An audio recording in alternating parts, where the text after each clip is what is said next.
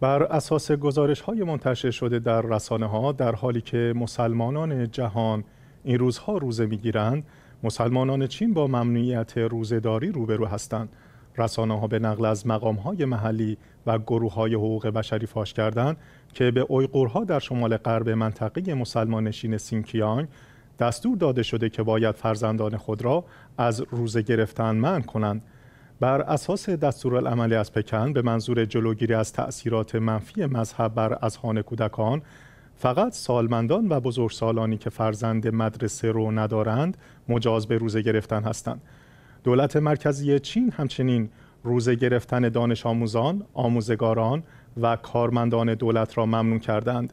این گزارش ها با انتقاد گروه های حقوق بشری مواجه شده و اعلام کردند مشاهده اطلاعیه های چین مبنی بر اینکه تنها افراد خاصی می توانند روزه بگیرند رقتاور و غمانگیز است. سازمان ها، نهادها و مؤسسه های بین المللی و نیز سازمان ملل متحد تا کنون بارها و بارها نسبت به اعمال فشار از سوی دولت مرکزی چین علیه مسلمانان اویغور انتقاد کردند اما دولت چین همواره موضوع را رد کرده است